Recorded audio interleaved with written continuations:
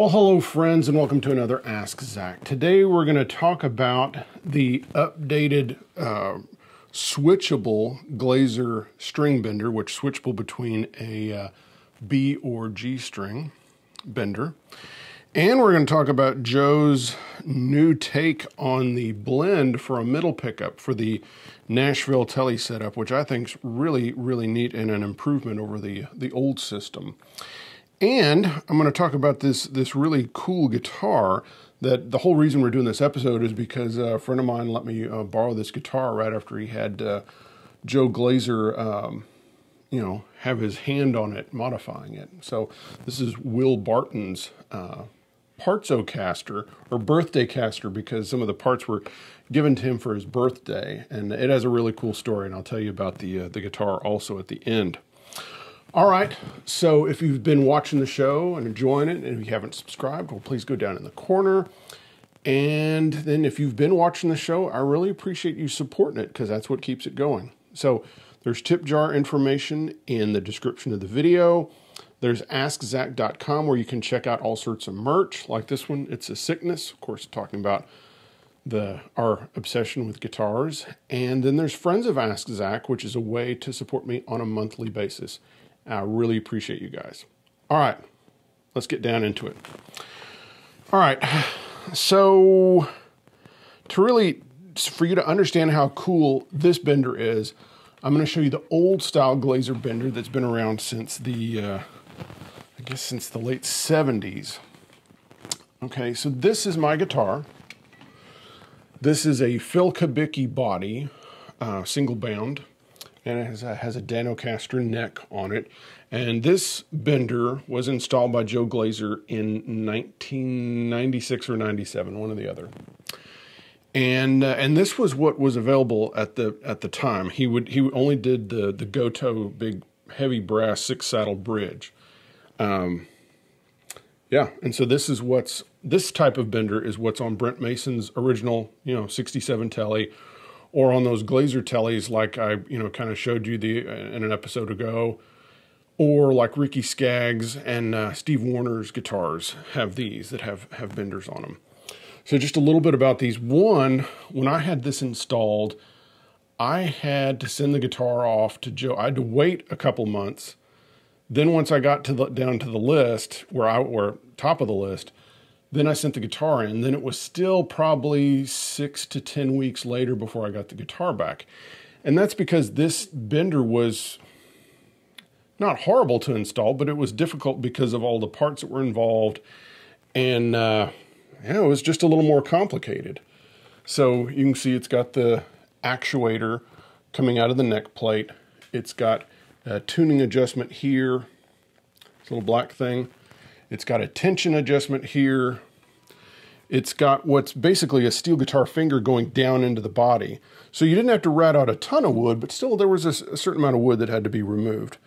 So this bender system was great, but it took a while to be installed. So Joe started thinking about how he could do an updated one that was easier to install and also that was convertible. So he did a bender for Gibson. They had a Music City like Les Paul Jr. And that was the first one that he was able to do a convertible thing on. But then he took that and even simplified it some more and he came up with this bender system. And this is fantastic because of course, like I said, you can switch it not not on the fly, but if you take, you know, 30 minutes or so, you can move this saddle over. You have to actually have to flip it up upside down and move it over here. And uh, then you can have the bender on the G string instead. Then this is much easier to install. Uh, installation takes an hour or two. So uh, huge improvement. Uh, you still have the same type of actuator on the neck. You have the arm here. And even if you're uh, neck plate is different than this, even if it's contoured or angled, like if the body's angled or anything like that. This can still be installed, but sometimes there's a small upcharge if it's not uh, this normal type of neck plate. The tuning adjustment, which was up here, is now here, and it's a thumb wheel, which is nicer. then you still have the tension adjustment here that you adjust with a uh, Phillips head screwdriver. Yeah. So, also, frankly, it's a smoother pull. You know, I've had all sorts of benders. I've had Parsons White, Dave Evans pull strings, um, you know, on and on and on. And uh, I have to say, I like the newer one better than my old style bender. And the fact that they can be installed so much faster and uh, and they can use the ashtray bridge easy, you know, because on they they started doing the ashtray bridges on on those, you know, at some point in the late '90s, but uh, yeah, now it's like you can just have one, you know, installed, and uh, yeah, it's really really neat, smooth, uh, and they can be adjusted like what kind of throw you want. So uh, you can have a, a short throw, medium throw, or long throw. Uh, you know, of course, you can adjust the tension to however you like it, uh, whether you want it to have it where it you have to overcome a lot of inertia to get it to activate or not. Um, one of the huge improvements is that here is the steel guitar finger. It's up top and you can see it. And in that one, the finger was down in the body. This is much easier to string because here you can see the, the little purple ball end so you force the string through there, it comes out here and you just bend it over. On this one, you would have to put the ball end down in there and catch it on this like fork. and if you broke a string and the ball end went down in there, forget about it. I mean, you almost had to take the thing apart to get to it. So this is a huge improvement. Uh, yeah, you just string it by forcing it through there, pull it around, and uh, you're good to go. If you break a string, well, you just pop another one in there. It's uh, it's it's not bad, and it feel feels great. Has a yeah, really nice tension.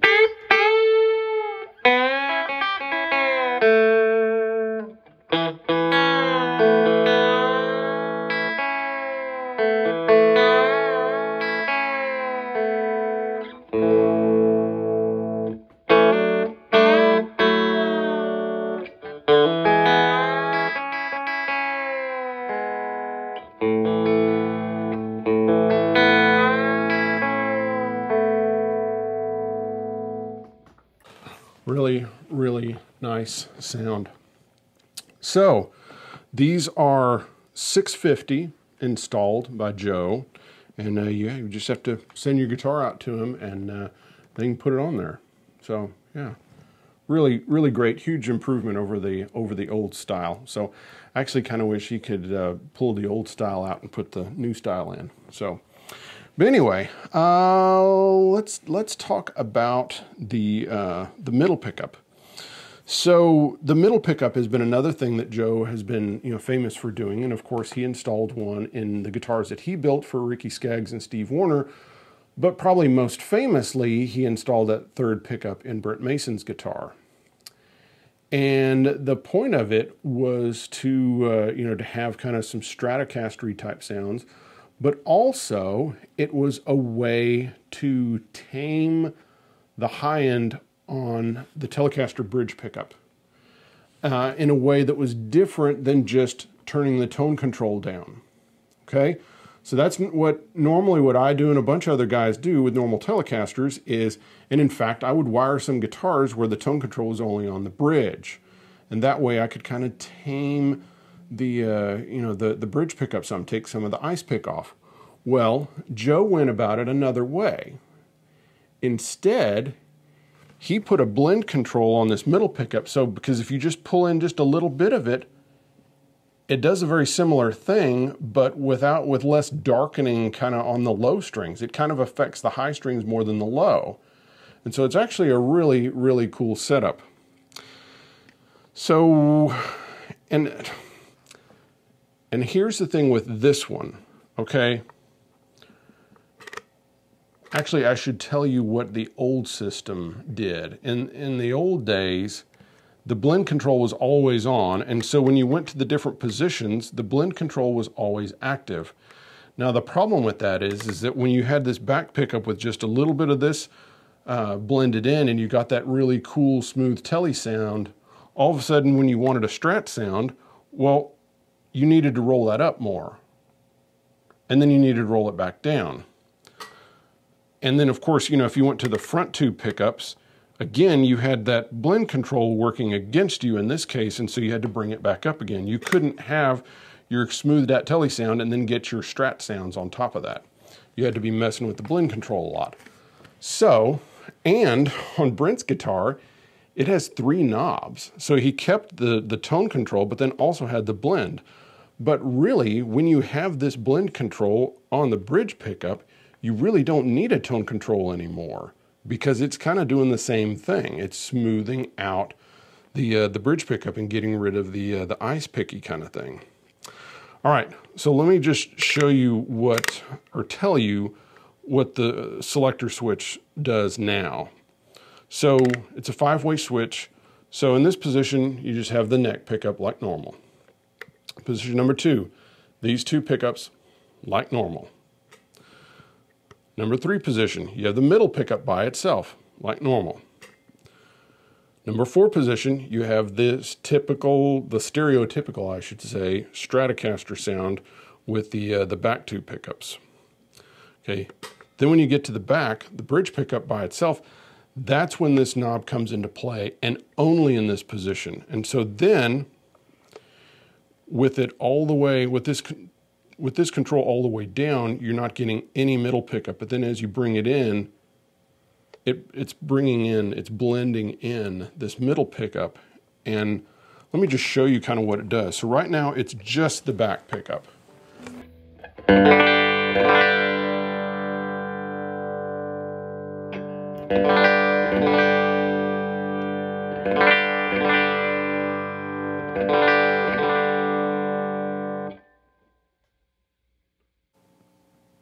Might be a touch subtle, but I think you'll be able to hear that it is really, without making it sound like a strat, it smoothed out the bridge pickup.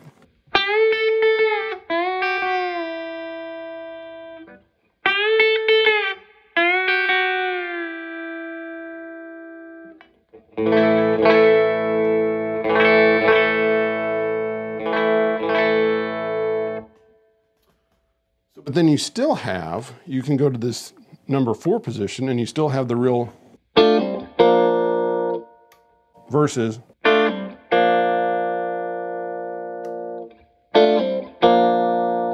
very stratty.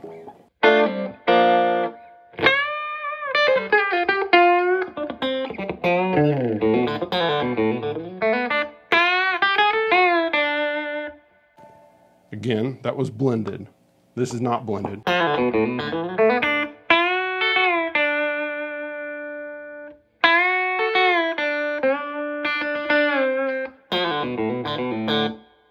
Blended, not blended.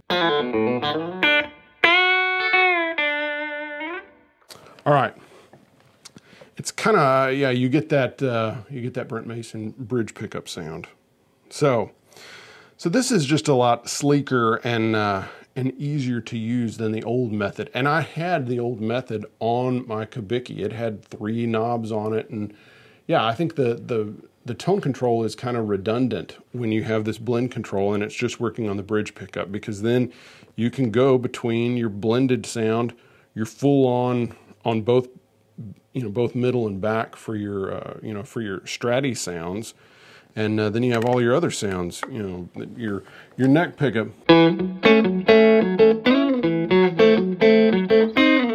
You you have both pickup. I mean you have the front two pickup.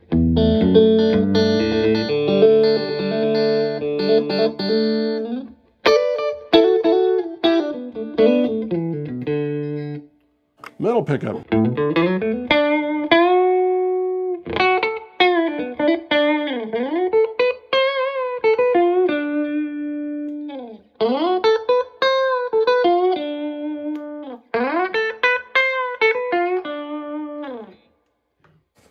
So it just makes for a super versatile guitar when you have the, the blend control, the middle pickup, and of course the, the string bender also. Uh, let's talk a little bit about this guitar.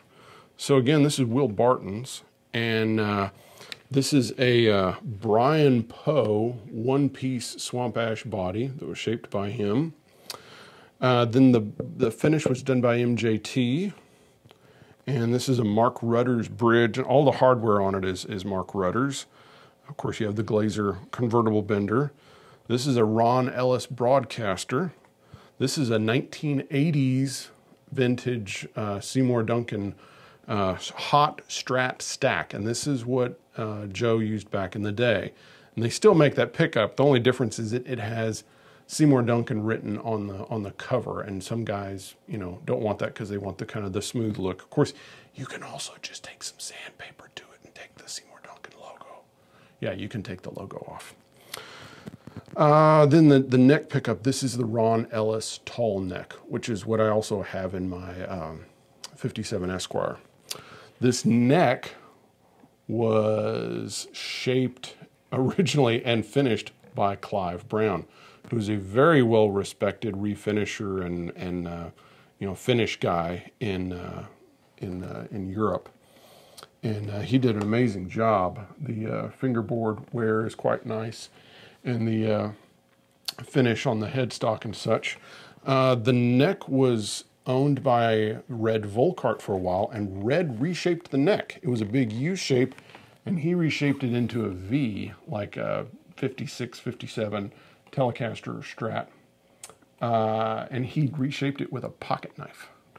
And uh, all I can say is uh, he did an amazing job because it feels just like an old 56, 57 neck. It's a, a beefy V. It's very, very nice.